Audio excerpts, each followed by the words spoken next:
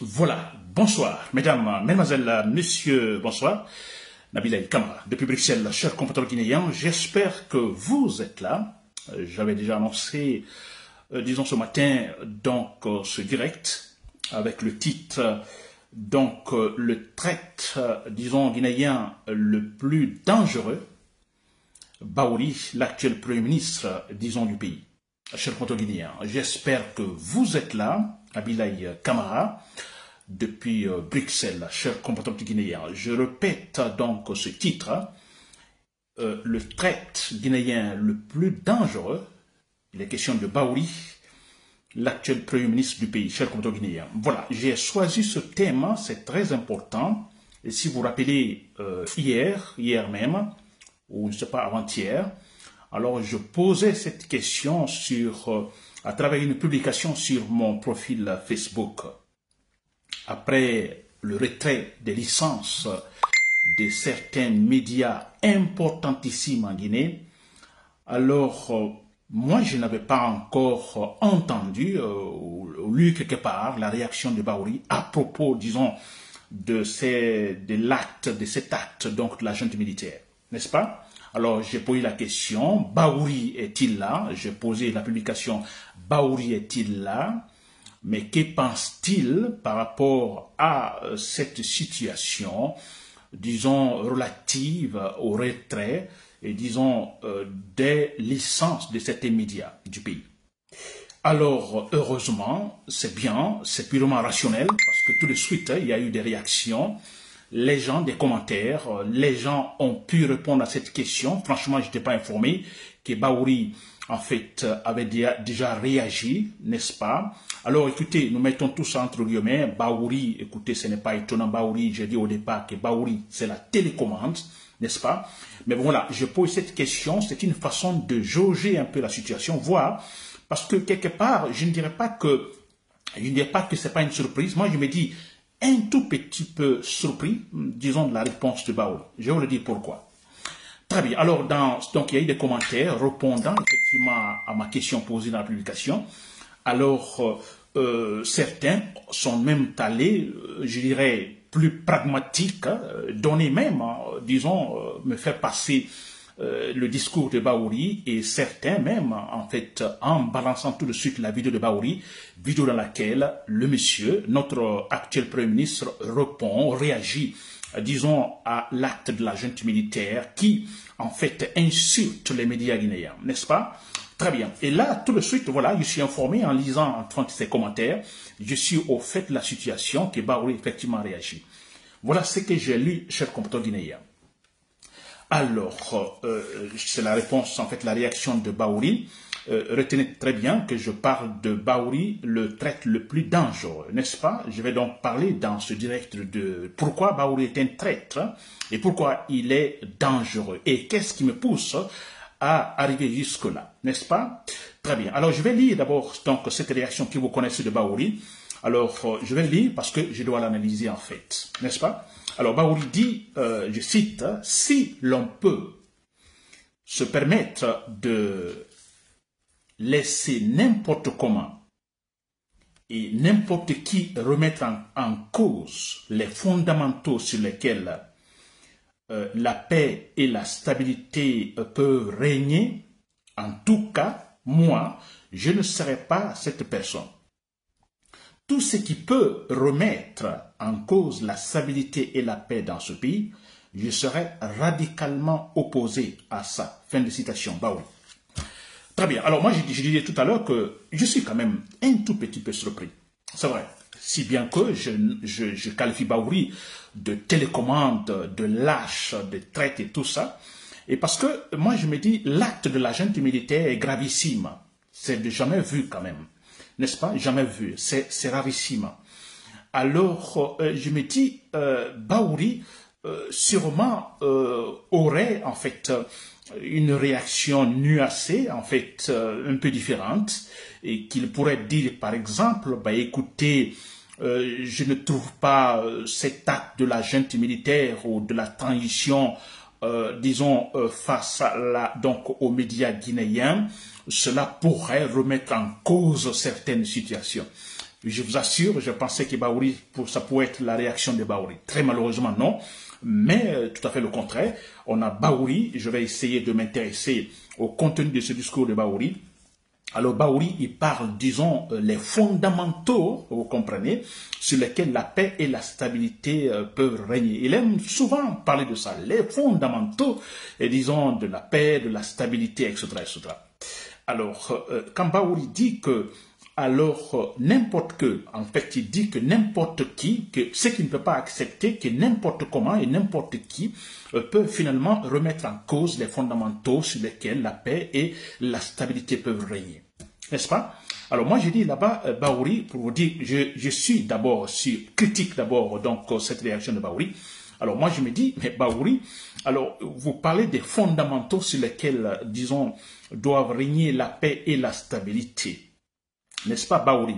Alors, Baouri est un, peu plus loin, il dit tout ce qui peut remettre en cause la stabilité et la paix dans ce pays, je suis radicalement opposé. Alors, moi, je dis à Baouri, le fait que Mamadi Doumbouya ne respecte pas ses engagements ou ne respecte pas la charte de la transition, cela n'est-il pas un motif clair, réel, disons, de remettre en cause la stabilité et la paix dans ce pays?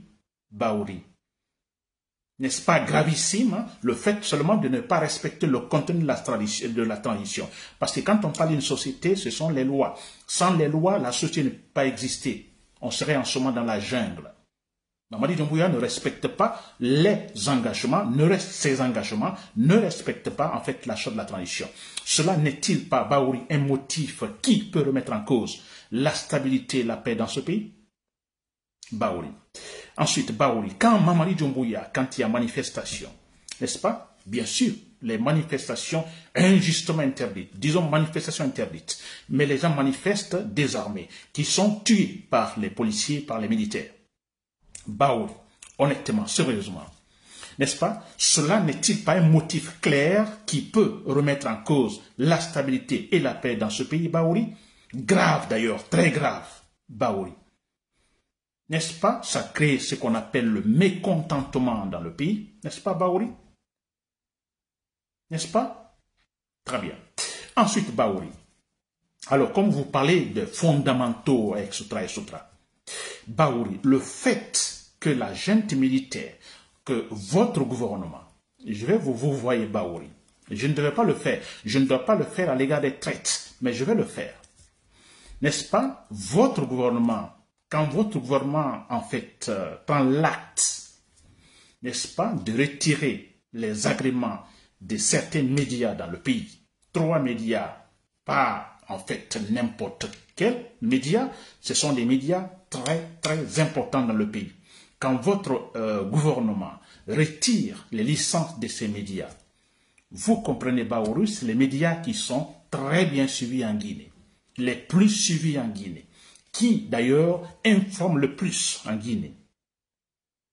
Quand votre gouvernement, n'est-ce pas, sanctionne ces médias de manière barbare, avec la manière Baouri, cela n'est-il pas un motif réel, clair, de remettre en cause la paix et la stabilité dans ce pays, Baouri? Vous qui aimez souvent parler des fondamentaux, etc., etc., vous oubliez ces points, Baouri?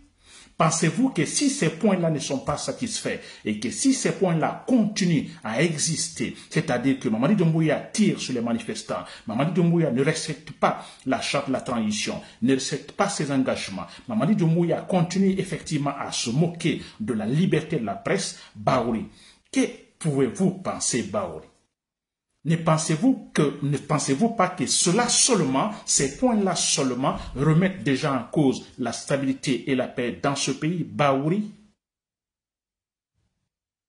C'est quand même incroyable. C'est quand même incroyable, n'est-ce pas?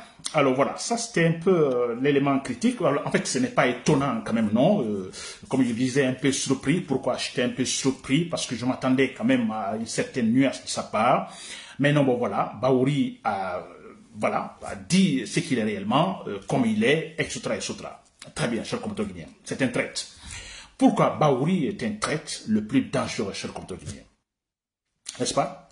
Et il y a un passage que j'aimerais évoquer avant de rentrer dans les détails. Quand j'ai publié n'est-ce pas? Alors, euh, généralement, ou quand j'ai publié aujourd'hui ce, thème sur Baouri et d'ailleurs sur euh, Messenger, sur mon story, alors j'ai en fait des photos de Baouri qui sont là avec certains commentaires, le traître, disons, l'homme à abattre, n'est-ce pas, des gens qui retardent réellement la Guinée, n'est-ce pas? Et tout de suite, j'ai mis en fait le, titre de mon thème, Baouri, le traite le plus dangereux. Alors, j'ai euh, entendu euh, certaines, il y a des gens qui m'ont appelé, il y a des gens qui m'ont écrit, il y a des gens qui m'ont appelé de manière anonyme, n'est-ce pas, et dans certains commentaires également. Alors, je veux tout simplement leur dire que je ne vais jamais tomber dans leur piège. Si eux, ils sont tombés dans le piège donc de la junte militaire, n'est-ce pas Je vais parler de euh, cette façade ethnocentriste, communautariste, je ne sais pas quoi, moi je ne veux pas tomber dans ce piège-là. N'est-ce pas? Euh, Certains, quand, parce que je parle de Baouri, ou quand je critique Baouri, ou quand je critique par exemple Ousmane Gawal Diallo, on essaye de, de, de me mettre dans euh, une certaine cage communautariste, comme si j'étais, vous comprenez, alors un élément qui ne serait pas euh, disons, en bon terme avec euh, cette catégorie en fait, des gens ou de telle ethnie. N'est-ce pas Une manière de peut-être dire, bon, écoutez, vous voyez ce monsieur Nabil Kamara, c'est un ethno, c'est un communautariste, n'est-ce pas? Alors, une manière, euh, peut-être pas m'attaquer directement, mais une manière de dire aux autres, n'est-ce pas? Écoutez, vous voyez, nous, notre ethnie, nous, notre communauté, excusez-moi, il faut être direct, ne tournons pas autour du pot. Alors, vous voyez ce Nabil Kamara, attention, il est comme ça, une manière, euh, peut-être, sûrement de s'attaquer à moi pour dire, bon, écoutez, voilà, n'est-ce pas? Je vois, j'ai entendu même certains disent, bon, écoutez, Nabila, vous continuez ainsi, alors vous allez perdre votre popularité au Fouta, s'il vous plaît. Alors moi je, me dis, ça, ça, me fait beaucoup rire parce que eh, je ne cherche pas la popularité. Si vous l'avez remarqué, je ne cherche pas la popularité ni en Basse-Côte, ni au Fouta, ni en, en, disons, en Haute-Guinée, ni dans ma propre famille. Je vous le dis carrément que ma propre famille ne me supporte pas. Ma propre famille, dans ma propre famille, en fait, euh, euh, euh je ne suis pas supporté. Mes idées-là ne sont pas supportées. N'est-ce pas? Alors, pour vous dire que je m'en fous de cela, ce que je combats ici, ce sont les irrationnels. Je combats les irrationnels. Des irrationnels, les Guinéens irrationnels. Dans les Guinéens irrationnels, voilà, on peut retrouver un Soussou, on peut retrouver un Maliké, un Peul, un, Thomas, un Cognaqué, un Guerzé, etc., etc. Donc, bref, je combats les irrationnels. N'est-ce pas? Par exemple, ce test de Baouri, ce discours de Baouri est irrationnel. Alors, je regarde Baouri, je le combats. L'autre fois, dans sa Kuruma, il parlait de la création d'une capitale politique à Dabola, je crois. J'ai trouvé cela irrationnel, avec tous les arguments ou toutes les argumentations qui l'accompagnaient, très irrationnel. Je l'ai critiqué. Ça finit pas, vous me connaissez. N'est-ce pas? Très bien. Même si c'est dans ma propre famille, vous comprenez, un élément de ma propre famille ou mon propre père ou autre, n'est-ce pas euh, En politique, je dis pas que autre chose, mais nous sommes en politique et vous comportez de manière irrationnelle, je vous critique. Ça c'est clair et net, cher. Voilà, ça c'était entre parenthèses. Très bien. Alors, euh, on revient sur Baouri. Je dis bien, Baouri est un gars très dangereux, c'est vrai. Il est dangereux. En fait, quand je parle de traite, vous le savez autant que moi, je ne vous apprends absolument rien. Est un traite. Un traite, c'est quelqu'un qui trahit. Il trahit tout simplement. N'est-ce pas? Il peut, l'apparence peut tromper, vous comprenez, mais dans les coulisses, bon voilà, il travaille réellement. Donc, un traite, d'une façon générale, c'est quelqu'un qui trahit. Et vous savez, trahir quelqu'un, non? Alors, nous sommes euh, d'accord sur un point donné. Alors, euh, nous conjuguons les mêmes verbes. Alors, par exemple, nous allons jusqu'à signer, tout va bien, l'ambiance est là, n'est-ce pas? Alors l'objectif, c'est cela, atteindre telle chose. Voilà.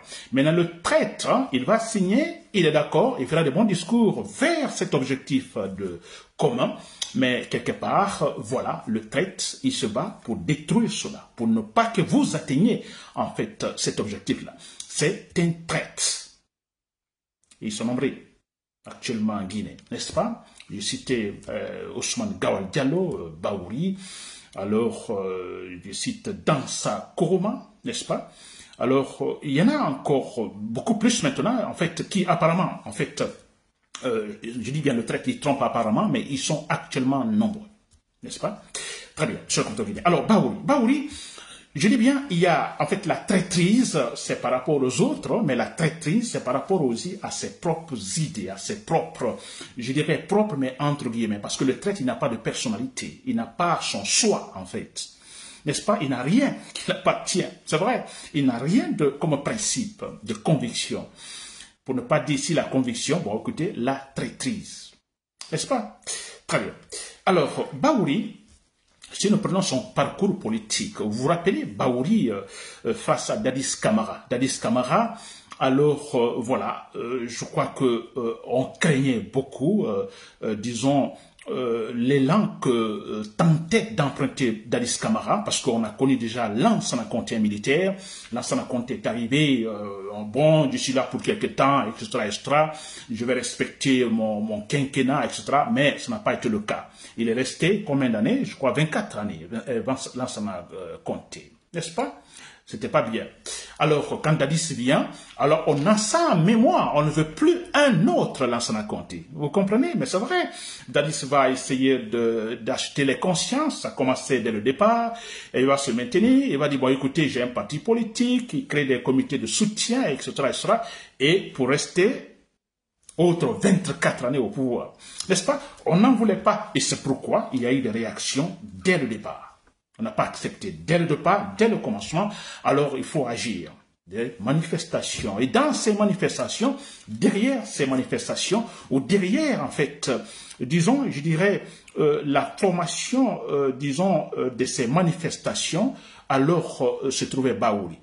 Baouri était là pour cette plateforme politique pouvant en fait relancer les manifestations pour pouvoir effectivement, euh, disons, désanimer euh, en l'élan politique, et disons, d'Alice Kamara, n'est-ce pas? Très bien. Alors, Baouri était là pour la structure donc de tous ces mouvements. Très bien. Vous comprenez, ça signifie effectivement Baouri se battait pour un principe, se battait pour le processus démocratique, comme tous ces gens. Beaucoup ont été massacrés, tués pendant, en fait, euh, euh, euh, disons, au stade du 28 septembre 2009. Nous savons très bien, cher Contolini. N'est-ce pas? Tous ces gens-là, alors tous pour la réussite de notre processus de démocratisation, tous pour ne pas, en fait, que les mêmes erreurs du passé se répètent, c'est-à-dire le cas Lansana Conté. N'est-ce pas? Très bien.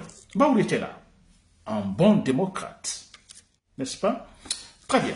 Ensuite, on a donc euh, Dadis qui n'est plus là. Voilà, on a donc Alpha Condé qui arrive après une courte transition. Alors, euh, tout de suite, Baouri, toujours un bon démocrate, d'ailleurs, moi je le nommais en ce moment, je le qualifiais d'être, parce qu'il était dans l'UFDG, le parti du FDG, alors je, le qualifiais donc comme étant, disons, euh, à la tête de la branche, je dirais, dure du, de l'UFDG, la branche, pour ne pas dire armée, entre guillemets, de l'UFDG, la branche violente, entre guillemets, de l'UFDG. C'est comme ça que je le qualifiais parce qu'il était très tranchant. Et là, j'étais d'accord avec lui, n'est-ce pas? Vous me connaissez. Alors, contre l'injustice, face aux irrationnels, je suis en fait jote pour la violence. N'est-ce pas? Parce que c'est à travers la violence que, effectivement, peut résulter la paix, cher Guinéens. Très bien. Alors on a eu Baouri euh, qui euh, n'était pas, qui était mécontent de la manière comme Alpha Condé est sûrement arrivé au pouvoir. Oh, on était très critique, c'est vrai. Alors tout de suite, vous vous rappelez en 2011 cette euh, tentative d'assassinat sur la personne de Alpha Condé. N'est-ce pas? Baouri en fait était accusé, était en fait euh, voilà, poursuivi, donc pour être un élément important donc dans cette tentative d'assassinat sur la personne de Alpha Condé. Mais c'est vrai, et d'ailleurs il a fui le pays, il est parti au Sénégal, le Sénégal il s'est retrouvé à Paris, en France, n'est-ce pas? Et il a été condamné, il y a eu un procès, donc beaucoup de ces gens ont été arrêtés, des gens qui en fait euh, ont été soupçonnés donc d'appartenir donc à ce complot donc cherchant à éliminer Alpha Condé physiquement n'est-ce pas?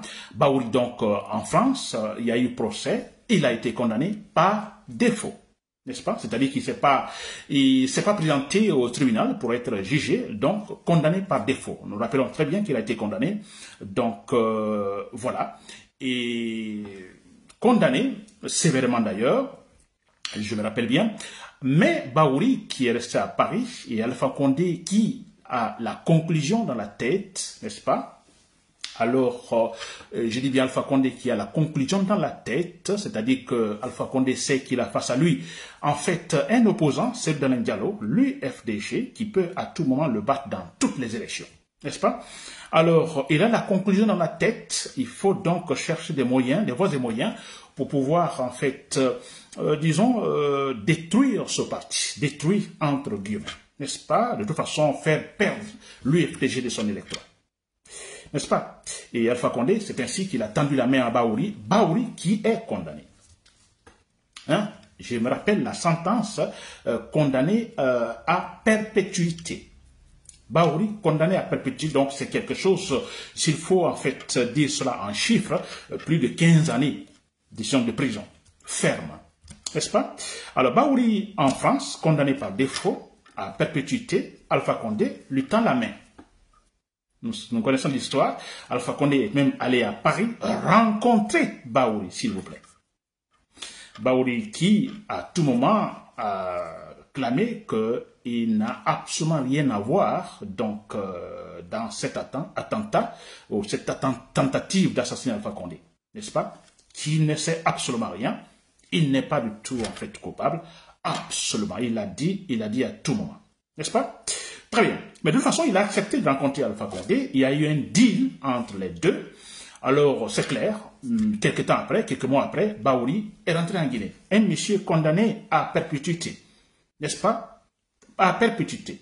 Donc, coupable, donc, de tentative d'assassinat sur la personne d'Alpha Condé. Pendant cette tentative, retenez bien, certains gardes du corps d'Alpha Condé ont été tués. Très bien. Alpha Baouri qui rentre en Guinée. Alors, euh, voilà. Euh, le deal est là, c'est clair, il faut combattre l'UFDG. Il doit combattre son propre parti, son ancien parti, disons ainsi. Combattre, c'est le. Vous comprenez cela, cher compteur guinéen? C'est Baouri. Au départ, le grand démocrate, l'homme de conviction, n'est-ce pas, qui finalement, voilà, va travailler pour Alpha Condé, cet homme qui finalement viole tout. Vous comprenez la personnalité de Baouri Très bien. Alors, Baouri est resté là. Je l'appelais en ce moment d'ailleurs, cette appellation, cette qualification. Je disais, en fait, la télécommande de Alpha Condé. Voilà, il va tout faire, son rôle, c'est tout, en fait, casser l'UFDG, casser Sylvain Diallo. Très bien. Très bien. Alors, euh, on a compris comment donc euh, euh, les choses ont évolué avec Alpha Condé. On est allé jusqu'au troisième mandat et voilà comment cela s'est terminé. Voilà, avec sa chute, cher compte Très bien. On a Baouri qui revient. Mamadi Doumbouya est là. Baouri revient. Baouri, maintenant, voilà, Premier ministre, cher compte Et là, Baouri, il est d'accord avec Mamadi Doumbouya, c'est vrai. Alors, Baouri, euh, toujours, euh, il se dit, bon, l'homme qui respecte des principes. Et puis voilà. Et tout de suite, on a le discours de Baouri. En tant que Premier ministre, Baouri dit, euh, je me rappelle l'autre fois, il y a, je crois, une semaine ou deux semaines, hein, sur TV5, Parlant en fait de la situation économique, répondant à une question, disons, d'une journaliste sur la situation économique catastrophique de la Guinée, Baouri disait, bon, écoutez, cette situation économique euh, ou financière en Guinée peut facilement s'expliquer, que la Guinée a connu pas mal de de problèmes, euh, disons, euh, Ebola, euh, Covid, et aussi parle de, de en fait, qu'on appelle ça, ce feu à tombeau, n'est-ce pas, au dépôt donc de, du carburant et tout ça. Et, et s'il vous plaît, Baouri dit aussi cette fameuse, en fait, idée de Alpha Condé pour un troisième mandat. Il dit, donc, cette situation est aussi à la base de la situation catastrophique actuelle, situation économique financière catastrophique. Le troisième mandat de Alpha Condé. Pourtant, Baouri était là pour effectivement, en fait, épauler Alpha Condé. Donc, je peux dire qu'à un moment donné, donc, il a donné une sorte il a fait, il a motivé Alpha Condé parce que si Baouri, euh, Alpha Condé, vous savez, c'est un ethnocentriste, hein, donc euh, cette stratégie qu'il a, il s'est dit bon, j'ai Baouri à côté de moi. Baouri, en fait, ce monsieur de l'UFDG, ce monsieur qui était proche de ce, Diallo. Alors, vous voyez, c'était une, donc il se dira bon, je dis bien, Alpha Condé ethnocentriste, vous le savez. Alors il se dira, bon, j'ai une partie, disons, de, disons, de l'électorat de l'UFDG avec moi, n'est-ce pas? Alors, mais c'est cela. Alors, il y a une motivation. Donc, ça crée la motivation chez Alpha Condé. Je ne dis pas que c'était seulement ça. Il y a d'autres, bien sûr, entre autres motivations, bien sûr. Mais ça aussi, Alpha Condé se sent bien fort. On a vu Alpha Condé qui va au Fouta, donc euh, donnant de l'argent, ainsi de suite. N'est-ce pas? Alors, ça a motivé Alpha Condé. Donc, la présidente de Baouri a motivé Alpha Condé à aller loin, donc, dans ses bêtises politiques. N'est-ce pas? Très bien. Alors, vous comprenez Baouri, qui condamne maintenant Alpha Condé, ou qui dit aujourd'hui, si rien ne va économiquement, financièrement, il y a ce problème de troisième mandat. Donc, il y a Alpha Condé qui est derrière. Alpha Condé est derrière, mais pourtant, vous l'avez supporté, Baouri. N'est-ce pas? C'est quand même incroyable, chers guinéens. Alors, vous l'avez compris, chers guinéens, quand je parle de traite, en fait, le plus dangereux, le plus dangereux, parce que Baouri, quelqu'un qui a fait des études quand même, hein, il a fait des études, n'est-ce pas? Donc, il est intellectuel, je vais dire entre guillemets, intellectuel, n'est-ce pas? Quelqu'un qui sait lire, qui sait euh, interpréter également les discours raisonnés, n'est-ce pas? Entre guillemets. Alors, euh, c'est vrai, alors, si on doit le comparer, par exemple, à Alpha Condé, le comparer à Mamadi Doumbouya ou à Dadis Kamara, c'est vrai, on a euh, quelque part un monsieur, la façon comment il a jonglé, vous voyez, avec Dadis Kamara, on a vu avec Alpha Condé et même avec Mamadi Doumbouya, n'est-ce pas? On est sûr à 100%. Et si il est en vie encore, parce que Doumbouya va tomber, il est clair que Baouri, à 100%, je suis sûr à 100%, qu'il supportera, en fait, le prochain, n'est-ce pas, euh, chef, hein, le prochain, en fait, euh, je dirais, putschiste hein, qui, fera, qui fera tomber Mamadi de Moya. Baouli sera encore là pour le supporter et dire que Mamadi de Moya s'était mal comporté. C'est clair et net.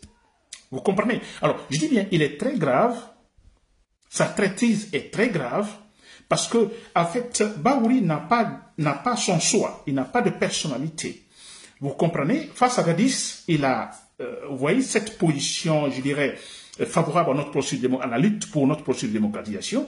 Et après, face à Alpha Condé, on a une autre idée qui, qui en fait, s'il faut dire, contredit la première idée, cette idée, cette, euh, cette conviction face à Dadis Kamara. Et maintenant, avec Mamadi Doumbouya, on a une autre idée de Baouri, cette fois-ci qui contredit celle que Baouri avait face à Alpha Condé. Vous voyez comment c'est confus, c'est paradoxal. Il est très, très dangereux. Je dis bien, très dangereux cet homme-là. Et regardez Baouri, s'il vous plaît. C'est quand même incroyable. Baouri a fait ses études, je crois, au Sénégal. Alors, vous comprenez Sénégal, hein, n'est-ce pas? Alors, mais c'est quand même incroyable que cet homme puisse défendre euh, cet acte de, la junte militaire qui retire les licences de certains médias. Mais qu'est-ce que ces médias disent réellement, s'il vous plaît? Parce que moi, il faut se poser la question, s'il vous plaît. J'entends les gens parler de... Euh, c'est vrai que Mamadi Doumbouya veut euh, le Kagame en Guinée, c'est vrai. Vous vous rappelez, avec le génocide... qu'on appelle ça, les massacres, par exemple, au, Rwanda, n'est-ce pas? Alors, on a parlé, on parlait d'une certaine radio, des mille collines, etc., etc., les accusant d'avoir divisé les citoyens, etc. Alors, mais c'est effectivement, ils veulent en fait euh, prendre ce contexte-là, le transposer dans celui en fait de la Guinée. Mais c'est vrai, dire bon écoutez, la radio privée, vous êtes comme ces radios collines en fait euh, au Rwanda. N'est-ce pas? Qui ont provoqué le génocide au Rwanda. C'est ce qu'ils sont en train de, de placer comme argumentation très claire. Et c'est différent ce qui s'est passé au Rwanda. Parce que si nous prenons le début du génocide au Rwanda, en fait, je dirais, il y a ces grands pays euh, occidentaux qui sont impliqués dedans, à la base. Je prends la France, je prends la Belgique, hein, qui sont totalement impliqués, je dirais, à la base de ce génocide. Parce qu'ils étaient là, ces grands puissants, soutenant un camp, euh, un autre, ou un camp au détriment de l'autre, etc. Mais comment vous pouvez comparer cela à Guinée? Non. Si la presse, la presse, je prends les, médias guinéens. Si Mamadou Doumbouya respectait les chartes ou le contenu de la charte de la transition, respectait son engagement, ne mentait pas aux Guinéens, pensez-vous que les médias auraient changé en fait leur manière de critiquer comme ils le font maintenant? Pensez-vous qu'ils auraient critiqué le pouvoir comme ils le font maintenant? Mais c'est clair, la presse a choisi d'être du côté de la raison. Mais c'est clair et net, être du côté de la raison. Combattre l'irrationnel. Mais ce qui se passe, Baouri, mais il faut interpréter le comportement des médias guinéens. À un moment donné, on a même dit que, bon, écoutez, ces médias, on n'en croit pas, alors ils vont supporter Mali Doumbouya, etc., etc., etc., s'il vous plaît. Mais voyez, voyez le changement, mais c'est vrai parce que Mamadi Doumbouya est devenu très irrationnel. L'agent militaire, super irrationnel. C'est-à-dire, c'est tellement, rien ne se cache la malhonnêteté de Mamadi Doumbouya et son groupe. Et voilà les médias qui comprennent finalement, qui se mettent du côté de la raison pour critiquer ce gouvernement, sévèrement. Et là, on nous sent des, des, mille collines de Rwanda, etc. etc. Pour terminer, cher commentaire guinéen, Baouri, c'est grand pareil, je répète ce point, c'est très important. Faisons comme on a connu dans d'autres régions, il y a beaucoup de pays aujourd'hui qui sont une grande démocratie, mais je vous dis qu'ils sont passés par des vraies luttes pas seulement, euh, disons, cette lutte de procédure euh, rationnelle, non. Il faut passer également par la violence, cher Comtoguinien. Des gens comme Baouri, nous les éliminons. Et ça, c'est clair, notre révolution va commencer d'ici décembre, parce que décembre, c'est la fin de la transition. Des gens comme Baouri, des traîtres comme Baouri, nous les éliminons, cher Comtoguinien. N'est-ce pas? Voilà, c'était un ami des camarades de Public 7. Merci pour l'écoute. Bonne soirée.